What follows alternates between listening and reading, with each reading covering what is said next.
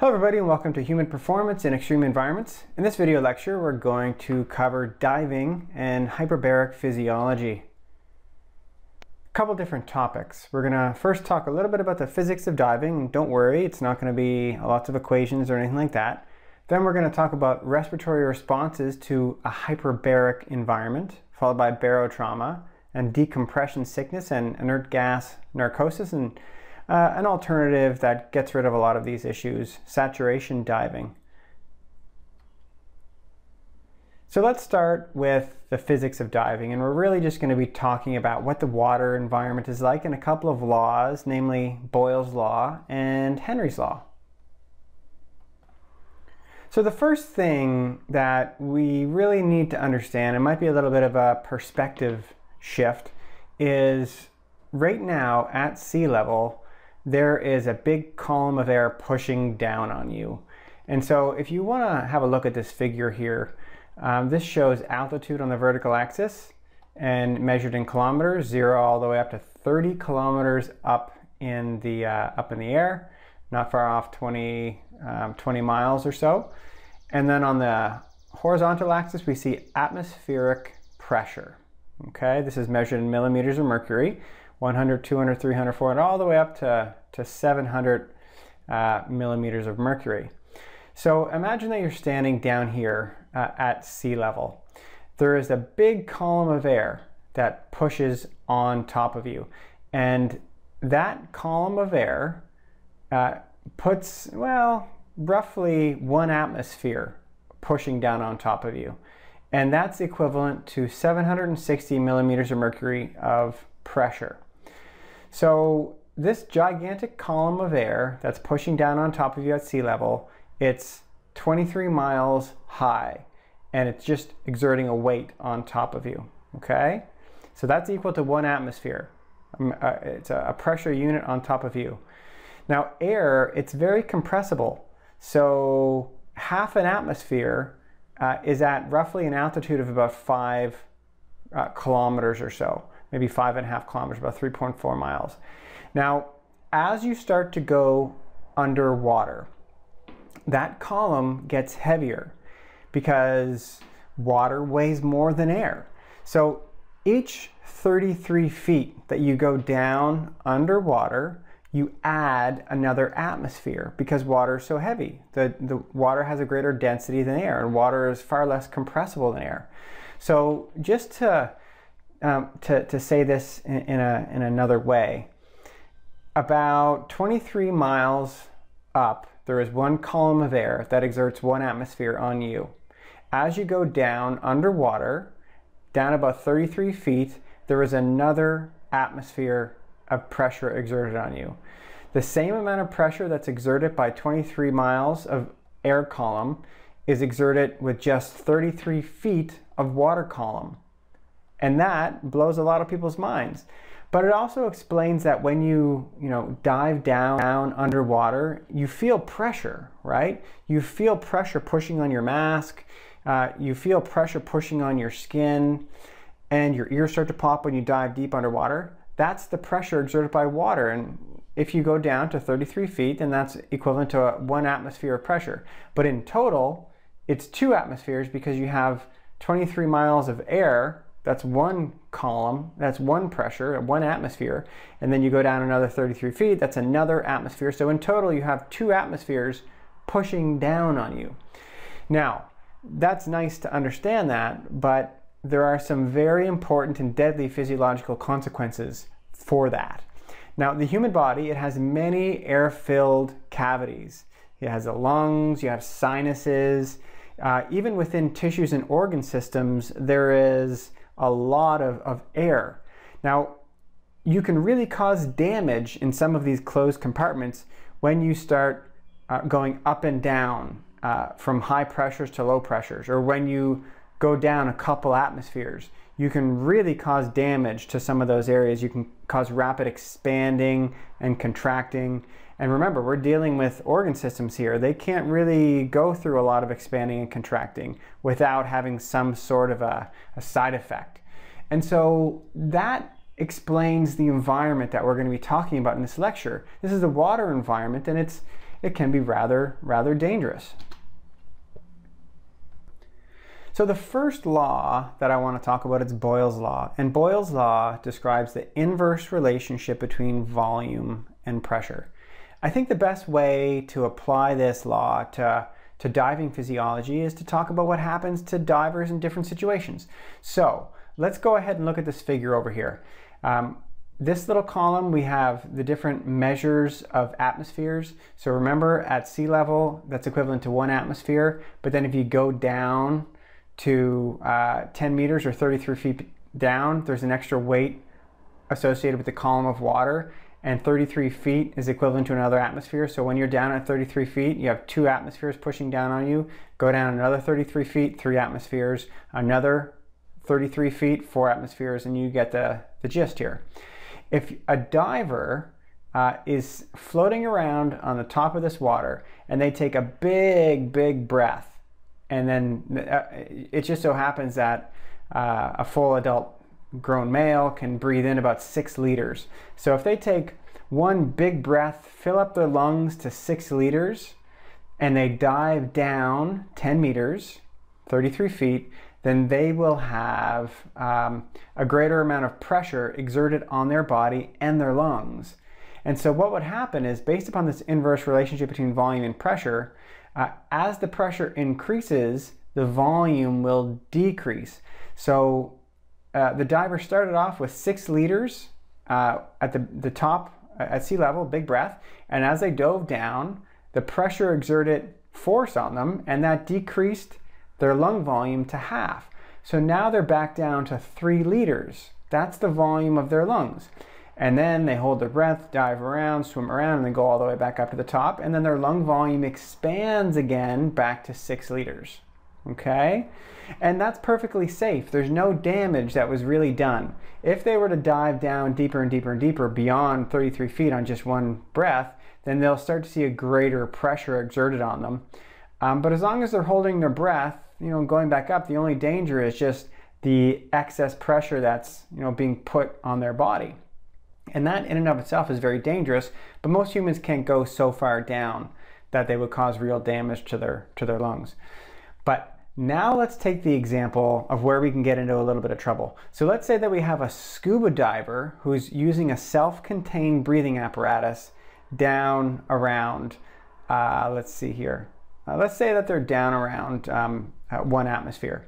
So let's say that a scuba diver takes a full breath, that's six liters at 33 feet or 10 meters. So they take a big full breath, they have six liters in their lungs. And then let's say that they hold their breath and then they ascend one atmosphere. So they ascend to the surface. Well, what's going to happen is that initial six liter breath is going to expand it's going to double. It's going to double to 12 liters. So the thing is, your lungs can't hold 12 liters of air. They can only ha uh, handle about 6 liters. So what happens? Your lungs burst. And that is an example of barotrauma. And so that is what we're going to be talking about, that and other different types of barotrauma uh, for the remainder of this lecture. But it's important that we understand what this law is, Boyle's law. It describes this inverse relationship between volume and pressure, and it's important to understand it. The other law that we need to know about is Henry's law. Henry's law stipulates that the amount of gas dissolved in a fluid is directly proportional to the pressure. Now, normally at sea level, certain gases, they're not absorbed by our body, but they're very plentiful in the atmosphere. Uh, one, it's nitrogen. And we also have other gas, gases like oxygen and carbon dioxide, and we need oxygen to live, and carbon dioxide is a byproduct of ATP generation, and we breathe that out. So, as it turns out, gases like nitrogen, they can be dissolved in the body uh, as you start to go down to depth. So here's the diver at sea level uh, no nitrogen is absorbed in their body. It's just in and out, it's inert. But as that diver starts to go down, then some of that nitrogen will then increase, uh, the, the, the pressure exerted by the water will then increase its absorption into body tissues at depth. And so if they ascend too quickly, then that nitrogen can bubble out very, very quickly. And that can lead to something called decompression sickness or the bends. And that can kill you. So this is an example of, of Henry's law. The amount of gas dissolved in a liquid is directly proportional to the, to the pressure. Uh, so, and, and so that's another law that you need to know of. Okay, so with that understanding of these basic laws, let's talk about the respiratory responses to a hyperbaric environment. So we're going to specifically talk about breathing with a regulator. If humans are to survive in this undersea world, they need to have various forms of equipment. And the most important form of equipment, it's the regulator. So when you dive, you breathe through this regulator. And ultimately what it does, it regulates the flow of air to the lungs. But there are a couple problems with this regulator or physiological implications of using the regulator that we need to be aware of. Uh, and we'll keep these in mind as we go through the rest of the lecture. So first, these regulators, they increase the work of breathing. So for one, they increase the anatomical dead space. Now, it, you might be aware of um, respiratory anatomy, but you don't need to be for, for this class. But just picture that you have this long tube that comes up from your lungs and ultimately goes up your throat and you know to, to your nose and to your mouth. Uh, and then as you get into your lungs, you have uh, these more delicate structures that allow for the exchange of oxygen and carbon dioxide. The, the pipe that goes from your lungs all the way up to your mouth, you can't exchange any gases there. It's dead space. And that's what we're referring to here, the anatomical dead space. So you have to work to push air ultimately all the way down beyond that anatomical dead space to the lungs where it can have a physiological effect. And that takes work.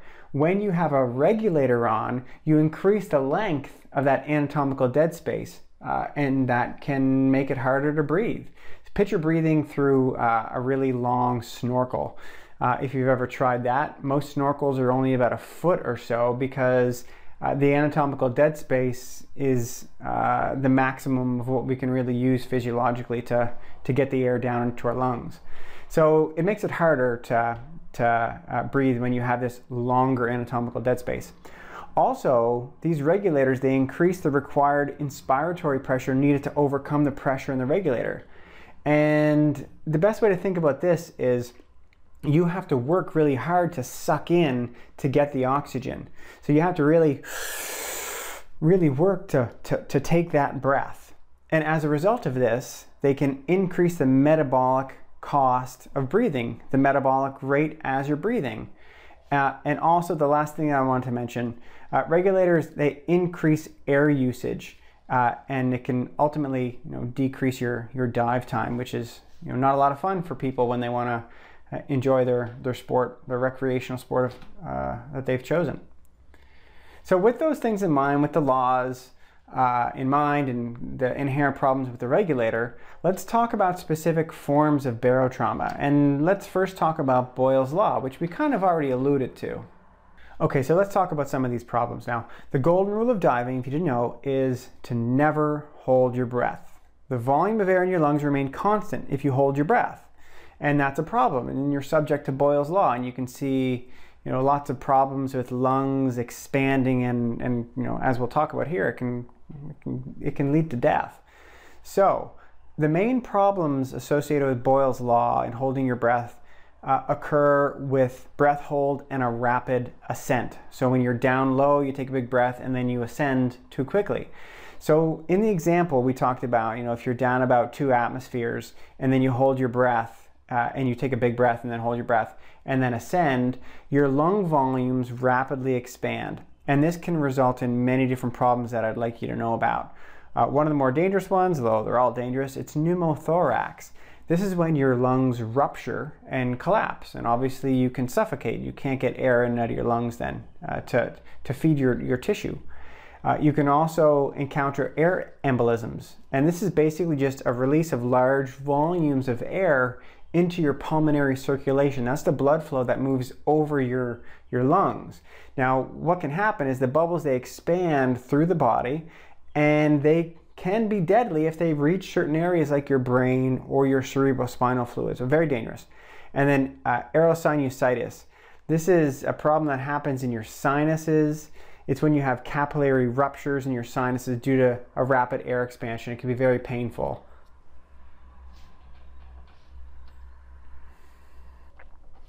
So the problems with Boyle's law uh, that relate to rapid ascent, know, normally it involves things expanding and popping.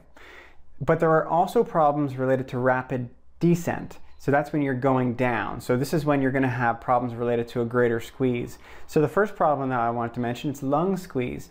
This is basically when your respiratory spaces in your lungs become very compressed. And this can cause real damage to lung tissue and your alveoli. Your alveoli is the, the, the small site of gas exchange between your lungs and the blood. Uh, and then the blood on that side, you can also have a damage there. That's your pulmonary capillary. It may burst and that can cause blood to ultimately uh, flow and leak into the lungs, and that is uh, one way that you can drown. So, very deadly. Mac mask squeeze, uh, that can cause problems with the capillaries in your eye. You can see ruptures, uh, and your eyes look totally bloodshot. Um, luckily, it's very easily relieved, you know, just by holding and breathing through your nose while you're wearing a mask can sort that out. Uh, aerotitis, this is a rupture in your tympanic membrane in your ear, so you're going to have potential problems with hearing and also um, with balance. Uh, again, this is easy to be relieved, and you've probably done this before uh, if you're diving down low just in a pool. Uh, all you need to do is just uh, force air through your eustachian tube, basically pinch your nose and blow out, and you'll be fine. And then another one uh, is hood squeeze. That's when water is trapped between your diving hood and your ear, and that can actually rupture your tympanic membrane, your, your eardrum. Um, but again, you know, water flushes in the ear, uh, and that can alter the equilibrium and cause disorientation. But you can, you know, get past this with the appropriate type of equipment and, and um, compression procedures as you as you go down, or decompression procedures, I should say. Okay, so speaking of decompression, let's talk about decompression sickness, also referred to as the bends. So before we were dealing with uh, Boyle's law, now that we're talking about decompression sickness, we're dealing with Henry's law. So we're dealing with gases uh, and pressure and bubbling in and out of the, the solution. So in particular, during descent, you know pressure can increase and during ascent, pressure can decrease. The problem here can happen on either side of this. So first off, during a descent, the pressure increases and that means that nitrogen is going to be compressed into the solution. It's going to be compressed specifically into your blood and into your body tissues. And this is normal uh, as you dive, but you need to be aware of it. Now, during an ascent, your, your pressure ultimately will decrease. If you go nice and slow, this nitrogen will naturally dissolve out of the blood and out of the tissue, and then you just breathe it out. But if you ascend too rapidly, this nitrogen will very rapidly bubble out of the solution. And remember, it was in solution in the skin and the muscles and the synovial fluid and the blood and the nervous system. If it very rapidly bubbles out of those areas, then you can experience severe pain. Uh, that's why they call it the bends, you're bent over. Uh, and many other issues, and again, it can be fatal. The treatment here is recompression followed by slow decompression. And so many, um, many uh, areas that focus on diving recreationally, um, there well, depends where they are, but uh, they can be located near decompression chambers. And so if you found that you ascended too quickly, then one option is to dive back in the water and then go back down to depth and then ascend more slowly. But that's not an option for most people who have the bends. You have to be uh, shipped to a hospital with a decompression tank, they can increase the pressure uh, in the chamber to recreate the, the slow descent that you would need in order to allow uh, nitrogen to more slowly uh, leave, your, uh, leave your body tissues. And then you got a chance. So divers, if you've ever um, gone diving before, then uh, you would be familiar with dive tables. So decompression sickness, it's influenced by many different factors. the depth of the dive, certainly, and the duration of the dive, and then how quickly you ascend. So these dive tables, they tell you how long you can stay at a particular depth uh, so as to avoid decompression sickness or the bends. But there's unfortunately many different factors that can influence uh, you know, the decompression sickness. And this is why there's a fair amount of rigorous training for those who want to go diving. You have to make sure that you're certified and you understand a lot of these factors. So, for example, body fat content. Uh, body fat retains nitrogen, so if you have an increased body fat percentage, you're at an increased risk of decompression sickness. You need to make sure that you're ascending more slowly. So everyone has a, a unique uh, rate of ascent. Uh, multiple dives. So nitrogen can remain dissolved in tissues over multiple dives and it can accumulate in your tissues over multiple dives. And so that means it can increase your rate of decompression sickness and you have to adjust uh, your ascent based upon the number of dives that you've had and diving at altitude. So if there's a, a, decrease in the surface barometric pressure, that will increase the pressure gradient. And so this is why people are advised not to fly for 24 hours after they've, they've dived. Because you go up very, very high, you can uh, accelerate decompression sickness. Uh, and then patent oval uh, foramen or PFO. It's a small channel between the right and left atria, and ultimately what it can do is shift nitrogen from the venous to arterial blood. And this is a genetic condition. It can increase your risk of decompression sickness. It's not very common though.